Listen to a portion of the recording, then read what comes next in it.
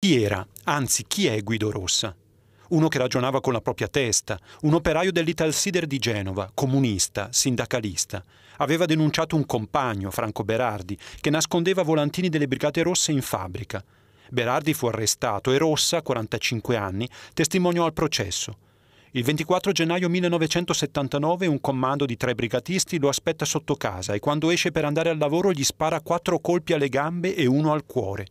Tre giorni dopo, al funerale partecipano 250.000 persone. Pertini dice ai camalli del porto: Non vi parla il Presidente della Repubblica, vi parla il compagno Pertini. Io le Brigate Rosse vere le ho conosciute, hanno combattuto contro i fascisti, non contro i democratici.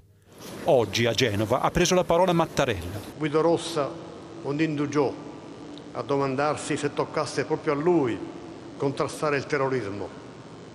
Seppe battersi per tutti, anche per chi preferiva fingere di non vedere. Assumersi delle responsabilità è difficile e può diventare pesante, ma l'Italia, a partire dalla Resistenza, si è basata su questa capacità nel suo progredire. Commemorare Rossa e tanti altri uccisi negli anni di piombo significa fare i conti con il presente.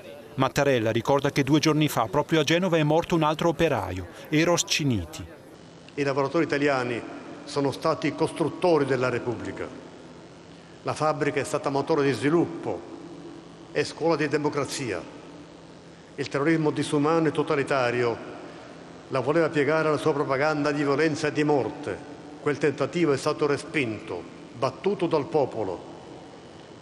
La battaglia per la libertà, tuttavia, non concede tregua. I fantasmi del passato sono sempre in agguato. Tant'è che oggi sul muro di Genova sono comparse scritte inneggianti alle BR e contro Guido Rossa. Occhi aperti dunque, pronti a rifare lo stesso cammino.